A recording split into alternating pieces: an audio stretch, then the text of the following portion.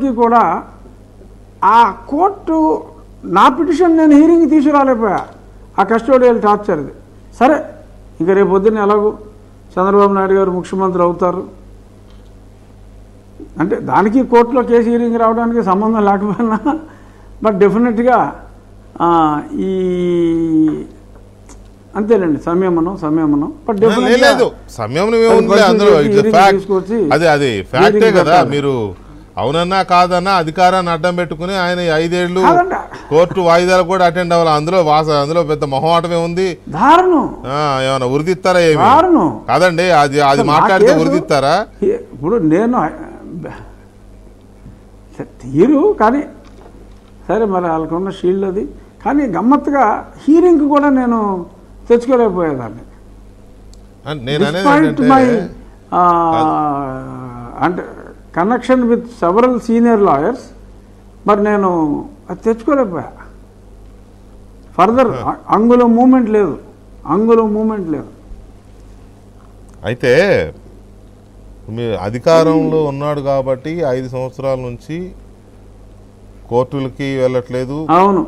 కేసుల పురోగతి విచారణలో పురోగతి లేకుండా వాటిని హోల్డ్ చేయగలుగుతున్నాడు. డబ్బు చూపించి తన money power muscle power power power అన్నీ చూపించి చేయగలుగుతున్నాడు.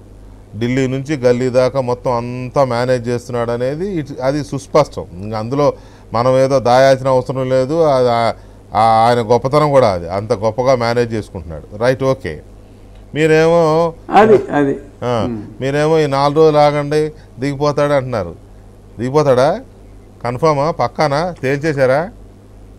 ఖచ్చితంగా ఖచ్చితంగా ఖచ్చితంగా రేపు సూర్యుడు ఉదయిస్తాడు అన్నది ఎంత నిజం అతను దిగిపోతాడు అన్నది అతని అస్తమయం ముఖ్యమంత్రిగా అతని శాశ్వత అస్తమయం అస్తమయం అంత నిజం. ఏ అంటే ఓటింగ్ ఓటింగ్ పర్సంటేజ్ అన్ని చూసుకునే మీరు ఒక అంచనాలకు వచ్చారా? రూరల్ ఎంత పర్సంటేజ్ అయింది అర్బన్లో ఎంత పర్సంటేజ్ అయింది? ఎవరికి లాభం?